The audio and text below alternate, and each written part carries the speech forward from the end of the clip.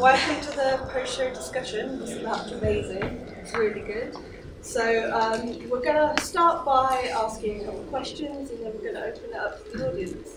Um, so let's start with some introductions. Uh, I'm Lucy, and I'm a member of Art 31, which is based here at uh, the Gulbenkian, and it's all about getting young people involved in the arts. And I'm Emma, and I'm also from Art 31 and the Youth Board. So, My name is Mark, and I'm co-artist director of Highly Sprung, and we specialise in making work with, for, and alongside children and young people. I'm Luke. I played Will in the show you just watched. I'm Claire. I played Annie in the show. I'm AJ, and I played Jay in the show. Cool. So, um, first question: Why do you think it was important to bring up these themes um, and to make a performance about this? Um,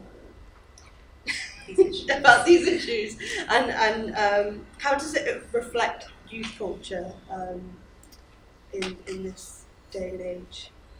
Well, I'll take I'll take the bit about sort of why, and then you can talk about the youth because I'm with the youth anymore. um, so, for for us, if we go to the hospital and we've broken our arm, a doctor will fix it.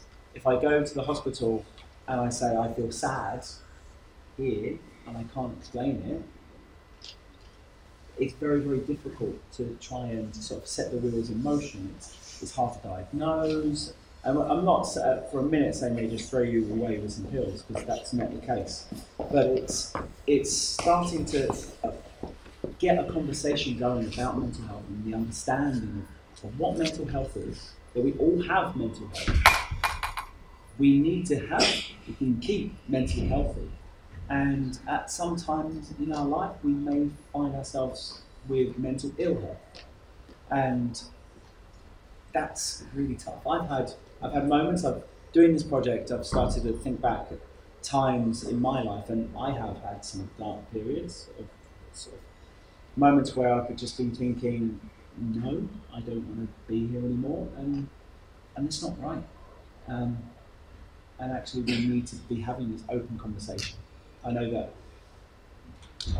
people in my family have had conversations with me and said, "Oh, I felt like that," and I said, "Well, I felt like that as well." And and we have so many things in common, but the trouble is when we are suffering from mental ill health, we so often think we're alone and isolated, and that's the complete opposite, and that's why we need to.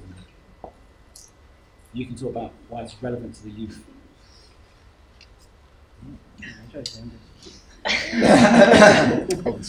Um, I guess uh, for, for, for the company and for us, we um, as artists, we're always looking, always working with young people. So how you spend what is is it thousands of young people? 10,000 young people. 10,000 young people a year, and individuals as as people. I know Luke, Claire, and myself do teaching. We teach a lot. and teach a lot of young people, and we're always interested in what what they have to say, what their voice is, because sometimes they don't get heard. And sometimes I know from my point of view when I was a teenager, or even now, when I went to university, I sometimes felt like I had no one to turn to or had no one to talk about anything that was going on. And it can really burden you because you can't get that outlet out and you can't express yourself. And I think this project really kind of highlights that there are people you can talk to. They don't have to be your parents, they can be your close friends or they can be people you admire. Um, but to try and express that and turn to them and really talk about what's happening in your life and really, um, yeah, have a moment if you feel like I've had a really bad day or that's turned into a week and I'm just feeling really down on myself or you're, you're under a lot of pressure that you can turn to somebody and you can talk to somebody about it. And I think as characters, in terms of being Jay, Will and Annie, Jay as a character really has no one to turn to, which is kind of what maybe could start that possible that downward spiral because his, his father isn't there, his mother's never around. He's moved to a new place, he's totally isolated. Whereas maybe, I don't know what you guys would say, but uh, Will and Annie, they have such a, a tight bond that no matter what happens, they've always got each other, and that's what obviously said. I don't know if you can elaborate on that a little more. Um, in response to the question about how it reflects the culture at the moment, um, I feel like even when I was, because I'm kind of, I'm not 18, close. but I'm not 18. But when I was making decisions about what I was going to do for my future, what exams I was going to sit, and what I was going to do at uni, it felt like because you'd made those choices, well, then you should be grown up straight away. From the day that you've like written it down, well, then you've decided what you're doing, so we expect you to be able to handle it. And it's kind of you're asked to make decisions really early on, um, and then kind of you're assumed that you've already become that person before you even had a chance to study that that topic or before you've even, even had a chance to move out and go to uni and live with other people and deal with bills and all of that stuff you're kind of just thrown in just because you've made a decision and it feels like it feels too early to be making those decisions but it feels also like once people have decided that that's almost the first step of the journey and not to assume that they've gotten to that place already um, which is some sometimes reflected in in what's been written in the show and you know like Will's studying really hard for his exams and he always gets A stars or whatever and it kind of feels like that's consuming you all this pressure to like really achieve all these things and actually your skills might lie somewhere else you don't have to go to uni you don't have to do GCSEs you don't have to do A levels. But all of this pressure on choosing those things kind of feels like you know that's what you should be focusing on. That's the only thing you should be focusing on. Um, and I feel like doing exploring the characters and their relationships means that we can kind of reflect back on maybe personally anyway reflect back on that time in our lives when we were kind of assumed to be mature. Whereas I mean I'm still not mature but It's about allowing ourselves that time to be young yeah and not assuming that responsibility of being an adult straight away. and allowing ourselves to actually fail at something. We spoke to somebody whose um, daughter was hoping to do drama A level, and he was, I think he was quite disappointed, and because he wanted her to do something else. We'll leave it at that. But we said to him, "How about if she does it, and how about if she's rubbish and she hates it and she's made a bad choice? What's wrong with that? So what? She can make the decision. She can regret it, fail it, and then she can move on and she'll have learned something from that. She'll have built resilience. And how about if she chooses it and she's incredible and she's made the best decision of her life? You could go either way, but either way is cool because failing is not actually as bad as it sounds. Um, yeah. Can, sorry, can, do you want to move I'm, on? ju- I'm just very aware you've asked one question. We've been talking for 20 minutes. But we all want to answer the same questions. So move on. Spot the performers, you like talking. Well, this might not help because it's quite a big question. But thinking about more the bigger picture, uh, specifically in the UK, for example, um, how could we make um, sure that young people's voices are heard in the future? Like you kind of touched on the challenges and issues that we face regarding employment and things, but what about letting them, especially in the arts, kind of be heard and giving them the opportunities when they're younger to do that and experience that? How can we? Everyone breathe in. um, I I kind of feel like there's um, there's a voice that young people have that doesn't get heard very often, and as adults, um, we either sit them in a classroom or we sit them in front of the TV or we do we have conversation but it's not really to try and understand them. It's to try and guide them or to tell them how to do something or to show them that this is the way I did it therefore you should learn from my mistakes. And as an adult myself I, I, I, I do that every now and then. I'm like I did that and no don't bother. Um, and I think actually with especially when we work with young people which we all had the pleasure of doing today you get within Highly Sprung's work especially there's big moments where you get to say okay this is kind of a task that you're going to go and create something and even if it's just in an arts format and they get to create some movement or some dialogue or something that they, they can get to show people they're showing a piece of themselves and we accept that straight away and say that was great. And I think that's really important for young people and often that doesn't happen in any other way a lot of the time. And I think it's a really nice window to go, actually, what you just did, which was you, was fab.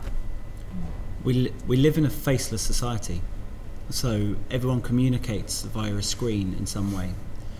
Um, and the arts allow people to develop a skill to be able to take that screen away and be able to interact face to face. And that's that's a skill that is so underrated, unfortunately. And um, for me, I think the arts give young people a voice because that allows them it, it allows them to understand themselves. And how how can you understand anybody else if you don't understand yourself? It starts here and then it goes out. And that's exactly what Will's character says in the show. You smile, make somebody else happy, they make somebody else happy, all of a sudden you spread the happy disease. And it, yes, it's very shallow in sort of the way he describes it, but actually, when you start thinking about it, it makes absolute sense. Mm. If I'm happy and I might hold a door open for someone, I might say please or thank you or compliment someone. And that person just feels a little bit better about themselves. And generally, as humans, we focus on the negative. If I ask them to remember all of the negative reviews they've had of working with other companies, um, they would be able to remember those. If I ask them to think of the positive ones they have working with Highly Sprung, um, the chances are they probably won't remember that because we always focus on the negative. And I think that by just ch- just changing the way that we think, I think the arts does that a lot. I think that allows them the voice. So, has anybody got any questions they'd like to ask? How Yeah. involved were young people invited on the show? How involved, How involved were in young people people in the show? in the show? Really, really just in case you want. Um, I'm going to be honest. I wrote this in a tiny room, looking out over an industrial estate, listening to music. Um, but I would say they wrote probably around about 60 or 70 percent of it via my head. So Annie in my head is um, a girl I used to teach, and I, I love her to bits. And she will never know that this this she was I wrote her in this piece, and I changed so much. But some of the things that come out of Annie's mouth came out of this girl's mouth, and you know I've I've had the I'm going to be honest I taught AJ when he was 13 14 um, and I've had the great fortune and opportunity to see so many young people grow up that actually it's their voices in this piece. So although they haven't necessarily said, well, I wouldn't say that, I wouldn't say that, maybe when I'm teaching, I might use a young phrase. like douche. it doesn't work because it comes out of my mouth. But um, all of a sudden, I learn from them a lot. So, not directly, but indirectly, 100%. Anyone else? Yeah. Um, which one of the characters would you say is most like yourself? Most. Like Mark. Is this oh, okay? oh, I totally will. um, yeah. Else? Um, I think I'm. A, I was going to say I'm a little bit of you. Not really much like Jay. Um, which is probably a good thing, I guess. Maybe I don't know. Um, from my point of view, it was, it was hard to play to play Jay because it's so he's so hot and cold. When we were rehearsing, that was the thing they said. Um, to remember that he's hot and cold. One minute he can be like really happy when he's with Annie, she brings out that happiness in him, and the next minute he then is completely the opposite, and he is determined with something, and he's really strong-willed. And I'm actually quite relaxed. Yeah, he's really I'm really relaxed. I'm just like, yeah, it's fine. um, which is so it's really hard to find that kind of energy and that kind of drive. Um, but that's uh, some of his, some of his characteristics. That his drive and his determination could be seen as a really positive thing because he's really committed, and that that them kind of people. Um, if you have something like a positive goal to drive towards, can be really successful. Um, but in terms of the whole character, not really like. I think I've got the same dance moves as Annie. She's got some awesome dance moves, let's be honest. Um, no, I think like Annie's spirit is definitely part of me. Or I'm part of Annie's spirit, don't know which way around it goes. Um, I don't, I wouldn't say that I'm as, mm, as trusting as she is, because she's very, she's quite naive. I'd say that in ways I'm more like Jay um, in terms of his principles. Like if he really believes in something, he believes in it, and he will like go like he will tell you what he thinks about it, and that's what what I'm like as a person. But I'm I'd like to think that I can take on other people's opinions and then tell them they're wrong. No, I'm joking. I'd like to think that I could listen to other people's opinions and kind of let them influence mine. But if I have something that I really believe in, I think sometimes I'm quite principled. Sometimes it might be too principled, but um, but definitely Annie's spirit is, yeah. I'm a bit of both. When I was 16, I was Will. When I was 19, I was Annie. And when I was 27, I became Jay. All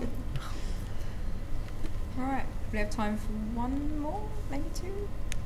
Um, Yeah. was, there ever, was there ever a moment in rehearsals or even to young people when you stood at that time out because it just got too much? That Yeah. It was like, whoa, this is too much, I can't deal with it. That's a good question. Mm, you're much What during the rehearsal period? Yeah. I'd say first show. Yeah. Yeah. loads, Yeah. Yeah, first show was like, just give me a minute. because it was, we'd rehearsed it so much and we'd said the words so many times.